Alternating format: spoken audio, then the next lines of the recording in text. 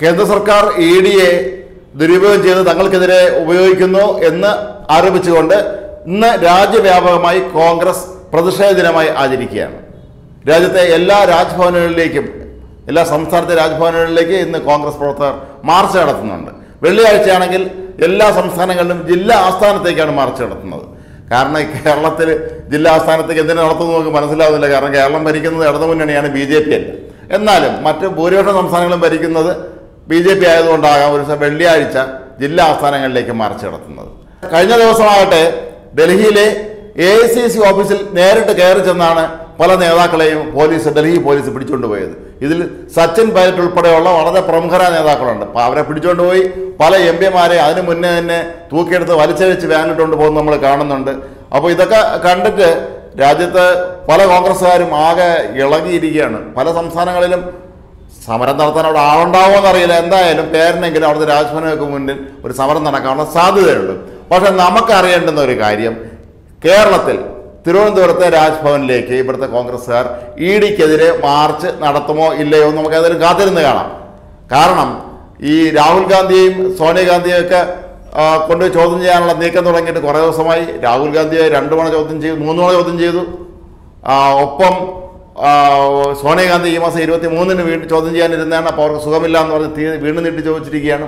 അപ്പോൾ ഇങ്ങനെ വല്ലാത്ത കോൺഗ്രസിനെ ശരിക്കും പെടുത്തുകയാണ് ആണ് ഇവർ ചെയ്യുന്നതെന്ന് ആ, കോൺഗ്രസ്സുകാർ ആരോപിക്കുന്നു. കുറ്റം അഴിമതി നടത്തിയത് ബാധകമല്ല. അഴിമതി നടത്തി പിടിക്കരുത് എന്നുള്ളതാണ് അവരുടെ തിയറി അതാണ് സാധാരണ കോൺഗ്രസ്സുകാർ ചെയ്യാറുള്ളത്. പക്ഷേ ഇവിടെ ഇപ്പോൾ ഏതായാലും രണ്ടായിരത്തി ഇരുപത്തിനാലിലെ പാർലമെന്റ് തിരഞ്ഞെടുപ്പ് കണക്കാക്കി മോദി സംഘവും രണ്ടും കൽപ്പിച്ചിറങ്ങിയിരിക്കുകയാണ്. മിക്കവാറും രാഹുൽ ഗാന്ധിയും സോണിയാഗാന്ധിയും പിടിച്ച് അകത്തിടാനുള്ള നീക്കമാണ് നടക്കുന്നതെന്ന് ഏതാണ്ട് വ്യക്തമായ ഒരു സാഹചര്യവുമാണ്. അപ്പോൾ ഈ ഒരു സന്ദർഭത്തിലാണ് ഇവർ രാജ്യവ്യാപക പ്രക്ഷോഭത്തിന്റെ അപ്പോൾ കേരളത്തിൽ നമുക്കെല്ലാവർക്കും അറിയാം കുറേ ദിവസം കൊണ്ട് കേരളത്തിന് വലിയ പ്രക്ഷോഭം നടക്കുന്നുണ്ട്. കോൺഗ്രസിന്റെ നേതൃത്വത്തിൽ. ഒപ്പം കൂട്ടിന് ബി ജെ പി ഉണ്ട്. കാരണം ഇവിടെ എന്ത് വന്നാലും ഇ ഡിയെ കൊണ്ടുവരണം എന്നുള്ളതാണ് നേതാക്കന്മാരുടെ ആവശ്യം. പിണറായി വിജയൻ രാജിവെക്കണം. മുഖ്യമന്ത്രി എവിടെയൊക്കെ പോകുന്നു അവിടെ എല്ലാം ഓടിച്ചെന്ന് ഒന്നോ രണ്ടോ പേരെ ഒളിച്ചിരുന്ന് ചാടി വീണ് പെട്ടെന്ന് കരിങ്കൊടി കാണിക്കുന്നു. അല്ലാതെ പ്രധാനപ്പെട്ട ജംഗ്ഷനുകളിൽ മുമ്പ് കരിങ്കൊടി കാണിക്കാനുള്ള ധൈര്യമില്ല. അപ്പോൾ ഏതാണ്ട് ഈ ഒരു രീതിയിൽ കാര്യങ്ങൾ പൊയ്ക്കൊണ്ടിരിക്കെ ഈ അശ്വനിപാതം പോലെയാണ് പെട്ടെന്ന് കോൺഗ്രസിന്റെ ഹൈക്കമാൻഡ് ഈ ഒരു തീരുമാനമെടുത്തിട്ടുള്ളത് തീരുമാനം ഒരുപക്ഷെ കേരള ഘടകം കെ പി സി അംഗീകരിക്കണമെന്ന് യാതൊരു നിർബന്ധമല്ല കഴിഞ്ഞ ഞായറാഴ്ച ഈ ഇത്തരത്തിലുള്ള ഇ ഡി നിലപാട് പ്രതിഷേധിച്ച് ഇന്ത്യയിലെ എല്ലാ പി സി സികളിലും പത്രസമ്മേളനം നടത്തണമെന്ന് എ സി സി ആവശ്യപ്പെട്ടിരുന്നു. കേരളത്തിലെ പി സി സി പ്രസിഡന്റും ഇവിടുത്തെ സഹഭാരവാഹികളും അത് കണ്ടതായിട്ട് പോലും ഭാവിച്ചില്ല. കാരണം ഇതിപ്പോൾ വന്നുവന്ന് വലിയ താമസമില്ലാതെ ഈ കോൺഗ്രസ് എന്ന് പ്രസ്ഥാനം. കേരളത്തിന്റെ ഒരു പ്രാദേശിക പാർട്ടിയായി മാറാനുള്ള എല്ലാ സാധ്യതയുമാണ് കാണുന്നത്. വേറെ മറ്റു കുറേ പേർ മറ്റു പാർട്ടികൾ ബി ജെ പിയിലേക്കോ സി പി എമ്മിലേക്കോ പോകാനുമായിരിക്കും. അതുകൊണ്ട് തന്നെ ഈ പ്രതിഷേധം രാജ്ഭവന് മുന്നിൽ നടത്തുന്ന പ്രതിഷേധവും പിന്നെ ജില്ലാ ആസ്ഥാനങ്ങളിലേക്ക് നടത്തുന്ന പ്രതിഷേധവുമെല്ലാം കേരളത്തിലെ കോൺഗ്രസ് ഘടകം അനുസരിക്കണമെന്ന് യാതൊരു നിർബന്ധവുമില്ല. ചിലപ്പോൾ അനുസരിച്ചേക്കാം. നാട്ടുകാർ ബോധ്യപ്പെടുത്താൻ ഒരു ചടങ്ങ് നടത്താൻ വേണ്ടിയോ മറ്റോ ചെയ്യാൻ സാധ്യതയുണ്ട്.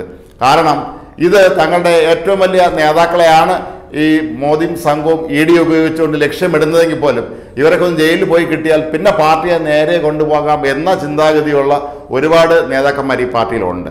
ഒരുപക്ഷെ അവരൊക്കെ മനസ്സുകൊണ്ട് ആഗ്രഹിച്ച കാര്യമാകാം ഉള്ളിൽ സന്തോഷം കാണും പുറമേ പ്രതിഷേധം പ്രകടിപ്പിക്കുമ്പോഴും പക്ഷേ ഈ സോണിയാഗാന്ധിയെയും രാഹുൽ ഗാന്ധിയെയൊക്കെ ഇ ഡി ഇങ്ങനെ ചോദ്യം ചെയ്യുമ്പോഴും തൽക്കാലം ഇ ഡിയുടെ കയ്യിൽ നിന്ന് രക്ഷപ്പെട്ട് നിൽക്കുന്ന ഒരാളുണ്ട്. അത് മറ്റാരുമല്ല സാഷർ റോബർട്ട് വാദ്രയാണ്. നേരത്തെ പലതവണ വാതിരെ പല ഭൂമി ഇടപാടുകളിലും ചോദ്യം ചെയ്യപ്പെട്ടിട്ടുണ്ട്. ഹരിയാനയിലെ പാവപ്പെട്ട കർഷകരുടെ ഭൂമി അവിടുത്തെ മുഖ്യമന്ത്രിയായിരുന്ന ഭൂപീന്ദർ സിംഗ് ഹുഡയുമായി ചേർന്ന് ഇദ്ദേഹം തട്ടിയെടുത്തിട്ടുണ്ട്. അതിന്റെ കേസൊക്കെ ഉണ്ട്. പക്ഷേ ഈ നാഷണൽ ഹെറാൾഡ് കേസിൽ എന്താണ് അദ്ദേഹത്തിന്റെ റോളെന്ന് ഇനിയും വ്യക്തമായിട്ടില്ല. ഒരുപക്ഷെ അതിനുവേണ്ടിയുള്ള ഈ കുബുദ്ധിയെല്ലാം ഉപദേശിച്ചവർത്തതിന്റെ പിന്നിൽ ഒരുപക്ഷെ അദ്ദേഹം തന്നെ ആവാനാണ് സാധ്യത.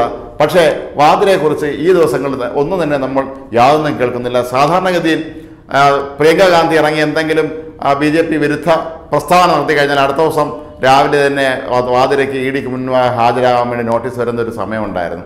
പക്ഷേ ഇപ്പോൾ അങ്ങനെ സംഭവിക്കുന്നില്ല. അപ്പോൾ ഏതായാലും നമുക്ക് കാത്തിരുന്ന് കാണാം. കേരളത്തിലെ കോൺഗ്രസ് പ്രവർത്തകർ രാജ്ഭവനിലേക്കും വെള്ളിയാഴ്ച ജില്ലാ ആസ്ഥാനങ്ങൾക്ക് മാർച്ച് നടത്തുമോ എന്ന്. ഇനി നടത്തിയാൽ തന്നെ അത് ശക്തമായൊരു സമരമായിരിക്കുമോ?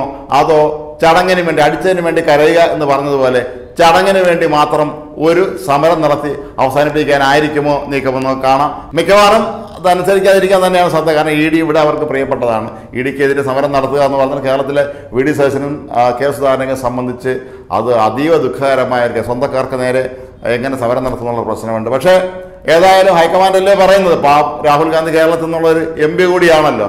ഇതൊക്കെ കണക്കിലെടുത്ത് ഒരു പക്ഷേ ഒരു ചെറിയ സമരം നടത്തി പിരിയാനുള്ള സാധ്യത കാണുന്നുണ്ട്. ഏതായാലും രാഷ്ട്രീയ കേരളം ഇക്കാര്യം വളരെ ആകാംക്ഷയോടെ ഒപ്പം തമാശയോടെ നോക്കിയിരുന്ന് കാണുകയാണ്. കോൺഗ്രസ്സുകാർ ഇവിടെ സമരം ചെയ്യുമോ ഇല്ലയോ എന്നുള്ളത്.